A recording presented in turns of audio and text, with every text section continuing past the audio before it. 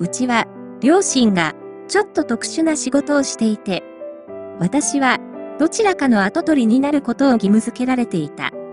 物心つく前から、将来は、〇〇かバツバツになるのよ。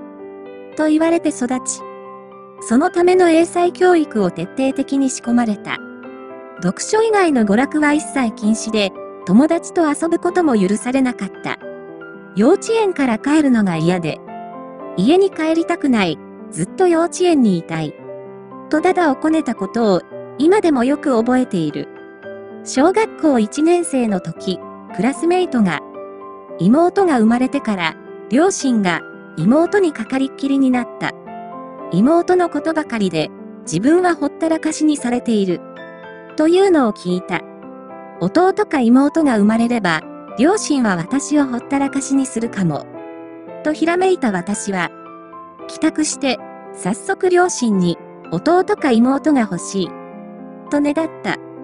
両親としても、跡取りは二人必要なので、父方の職業を継ぐこと、母方の職業を継ぐ子。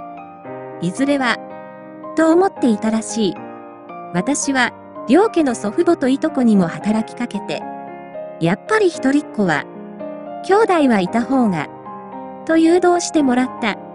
そして、私が、小学校3年生の時に弟が、小学校6年生の時に妹が生まれた。私の思惑通り、母は、弟と妹にかかりっきりになった。そして、私は、それとなく、弟と妹がいかに優秀か、自分よりいかに優れているかを、両親と弟、妹にすり込んだ。弟は、私より〇〇に向いてると思う。私なんかより、妹の方が、ずっとバツバツがうまい。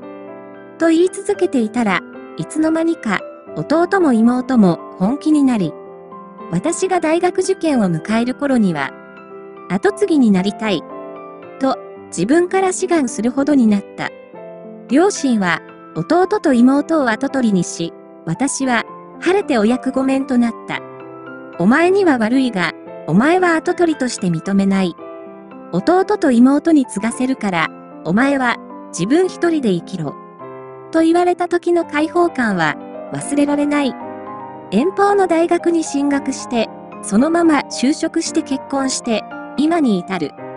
二人とも立派な跡取りになり、お姉ちゃんが譲ってくれたおかげで、天職に巡り会えた。と喜んでくれている。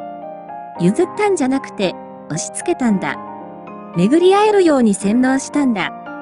自分の人生を守るためにしたことだから、後悔はしてないけど、今でも申し訳なく思っている。